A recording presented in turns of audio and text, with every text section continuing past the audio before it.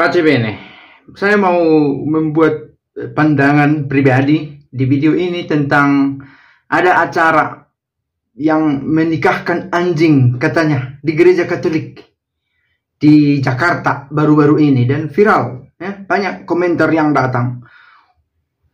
Menariknya saya mau mengkomentari komentar yang datang ya.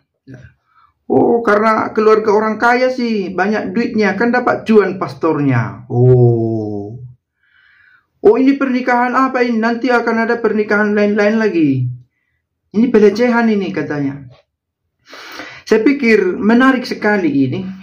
Video ini sangat dangkal. Harus saya katakan di awal. Karena saya belum membuka dokumen-dokumen yang terkait tentang ini. Tapi saya bisa mendekatinya dengan eh, teologi yang fundamental. Begitu ya. Manusia rindu mencari Tuhan. Itu dia. Hal sangat mendasar itu. Dan banyak eh, dalam pencarian ini akan banyak dinamika dalam hidup beragama, dalam hidup sosial, dalam usaha manusia mendekati penciptanya. Kan kita pasti kita yakin pernikahan, tanda petik pernikahan ya, karena konsep nikah pun tidak ada di otak anjing. Kan ya, konsep kita itu. Pernikahan anjing ini bukan dari niat anjing, kita tahu itu. Dan mengapa harus dibawa ke depan pastor? Hah? Apakah karena keinginan anjing untuk dekat ke penciptanya? Untuk melegalisir secara spiritual hubungannya? Tentu tidak. Itu konsep yang ada di pemiliknya. Begitu ya. Jadi, maka saya katakan sangat dangkal pendekatan ini. Yang pertama perlu dilihat adalah keinginan si pemilik anjing untuk memiliki dimensi spiritual dalam hidupnya sehari-hari. Itu sangat mendasar. Oke, mungkin masih terlalu mengawang-awang. Semua aspek hidupnya hendak dibawa ke kacamata rohani. Karena percaya dia kepada Tuhan. Kan begitu ya? Maka nanti ada mobilnya yang baru diberkati. Mana ada zaman Yesus uh, memberkati mobil ya Tentu tidak ada mobil. Tapi jenis-jenis semacam ini adalah bagian dari dinamika hidup beriman orang.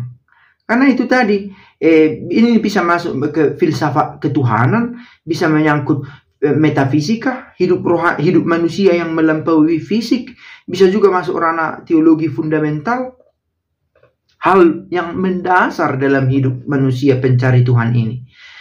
Maka Jangan langsung jatuh kepada oh sesat cari cuan atau apa. Itu bisa saja muncul sebagai konsep eh, pandangan kemudian. Tetapi mengapa ini terjadi? Karena manusia rindu mencari Tuhan. Nah, lalu kita harus melangkah kemudian. Tak cukup hanya sekedar rindu mencari Tuhan. Ada orang rindu mencari Tuhan, tapi caranya salah. Ah, itu dia. Kita belum bicara soal anjing ini. Saya mau katakan ada orang yang rindu mencari Tuhan dengan cara yang salah, dengan ritual-ritual yang menurut kemanusiaan kita menyimpang. Menurut kemanusiaan ya, bukan menurut gereja. Eh, menurut kemanusiaan, menurut hukum ilahi menyimpang. Bertentangan dengan etika. Dia yakin dia sedang mencari Tuhan, tapi dengan cara yang salah. Banyak agama-agama yang nyeleneh. Terjadi itu. Nah itu dia. Nah kita masuk ke pernikahan anjing ini. Apa yang salah? Yang salah adalah bahwa kacamata orang melihat peristiwa ini banyak. Oh, gara-gara keluarga kaya sih katanya. Persoalannya begini.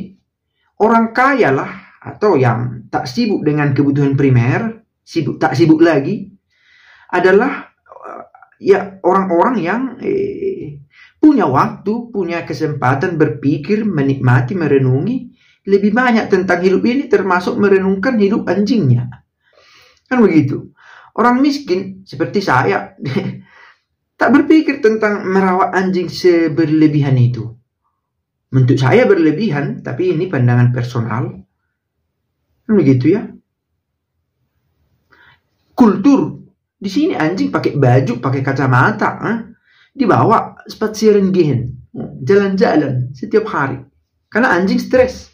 Maka masuk akal anjing kebanyakan di kampung cepat-cepat marah karena diikat terus-menerus, dipukul, tak makan tak kenyang.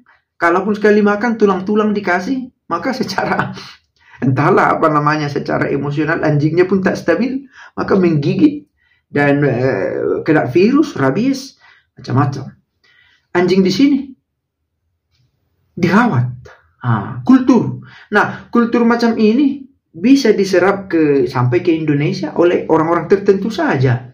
Yang tidak lagi yang punya banyak waktu untuk memerhatikan. Yang yang pernah datang ke sini melihat bagaimana orang-orang memperlakukan anjing. Lalu diberkati. Sebutlah diberkati uh, blessing for the animals. Itu nah ini yang saya bilang riset saya belum banyak karena Pasti ada eh, hal yang berbicara tentang ini. Dan dalam dirinya tidak salah memberkati. Ya, memberkati ternak, pekerjaan, rumah diberkati, benda mati, apalagi yang hidup. Hah? Rosario diberkati. Hmm. Maka anjing diberkati, mengapa tidak? Perkawinan. Nah, Konsep ini ada di otak manusia. Di otak manusia ini. Anjing tak punya konsep perkawinan. Bahkan manusia pun tidak semua mengakui konsep perkawinan. Banyak yang tak beragama itu hidup serumah. Tak, eh no, pernikahan ya.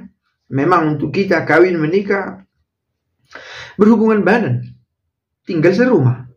Tak nikah secara juga sipil, juga secara gereja. Sipil saja tak diakui apalagi gereja yang adalah pilihan. Bisa tidak bisa ada. Bisa tidak ada bisa ada.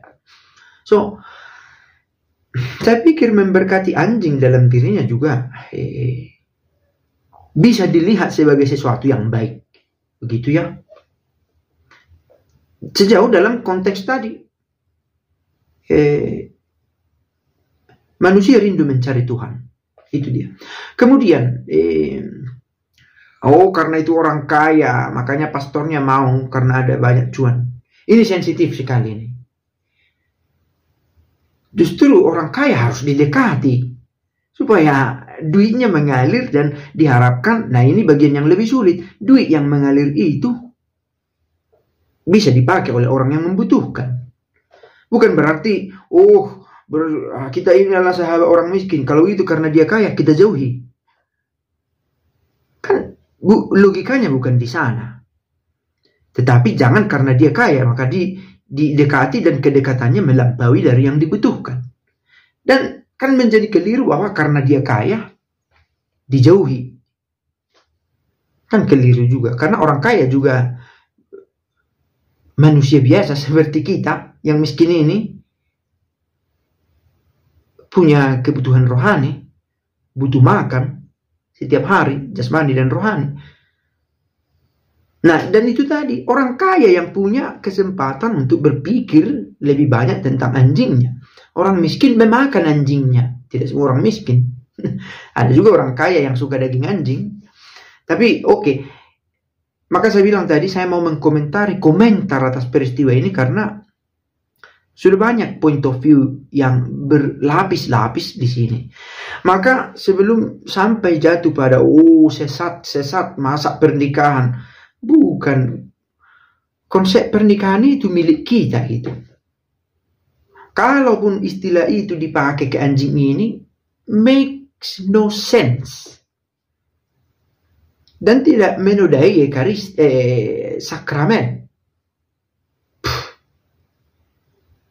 Bukan apa. Eh, yang dimasukkan ke kita itu yang haram maka kalau oh berarti jadi haram apa ini? Sakramen perkawinan ini jadi rusak. Tidak rusak sakramen perkawinan tetap perkawinan. Dan ma manusia dan laki-laki dan perempuan. Hmm.